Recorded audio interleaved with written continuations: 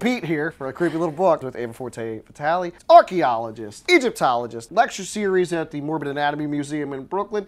So, I mean, I guess when, when it comes down to it, uh, you know, in the ancient world, that animal sacrifice isn't so far out. You have the, you know, the ancient Hebrews practiced it. Uh, you know, I've, I've read uh, a lot about the Eleusinian uh, mysteries, and you know, there's a lot of bull sacrifice there, and the Romans worshipped the, uh, the the bull as well. There's a lot of that going on. So, so I guess that wasn't too far out. No, I mean Um, the Egyptians have a very long history of worshiping um, the bull as well. The Apis bull Mm-hmm. was one of the most sacred animals, and we have actually many um, preserved mummified version of the sacred animal.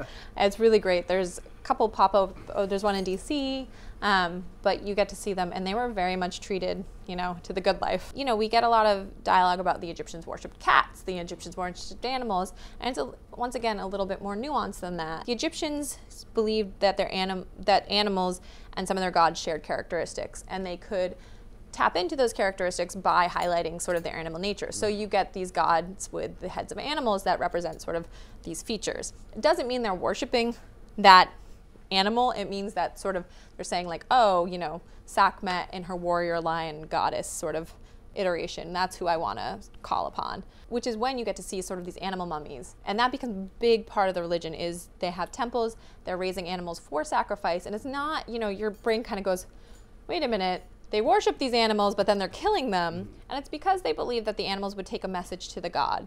They believe the animals worked as a sacred messenger and they would be reborn into the next life. So there's not kind of like this weird disconnect between like you're killing the animal, but you're worshiping it. Also, you know, when later in Egyptian history, it's sort of close to when the Greeks come on the scene, Egypt had been taken over by foreign rule, mm-hmm. and they really wanted to go back to sort of national pride. They wanted to show the things that made them Egyptian, and one of these things was this return to animal mummies. And so, you know, at one point in the 19th century, I think it was something like they took away two tons of, you know, disintegrated cat mummy to use as fertilizer in England. You know, they shipped it off um, because it was, you know, millions and millions of animals. I'm assuming that ancient Egyptian beliefs, and you know, I was somebody who was raised, you know, in Catholic school, and you know, Catholic this, Catholic that. My take on that religion is that it's really obsessed with death, and and I would, you know, looking at Egyptian culture from the outside, it seems like they're crazy obsessed with death too, and and I wonder how much of this Egyptian faith that spans, you know,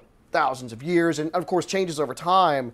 How much does that carry through to even religious practices today? It does to a certain extent, but I do warn people, and this is one of the first things whenever I'm teaching a class, I kind of go over with my students, is um, we see it through a very specific lens. I always remind people that Egypt is a country where 90% of the people live on 3% of the land, and that's still the same truth today. Um, since the Nile is such a limited resource and it really makes that area home to a lot of people because you know the Nile used to flood, it used to lay down sort of rich soil so that you could have your farmlands. They couldn't venture that far from that.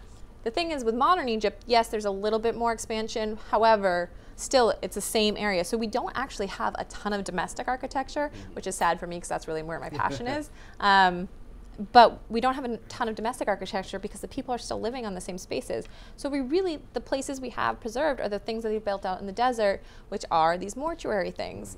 I also say to people, just think about it in terms of your own neighborhood. I'm here in Astoria, which is a very Greek and very Islamic um, neighborhood. And if you type into Google religion or religion institute or anything like that, you know, immediately you get dots all over Google Maps of things that are here.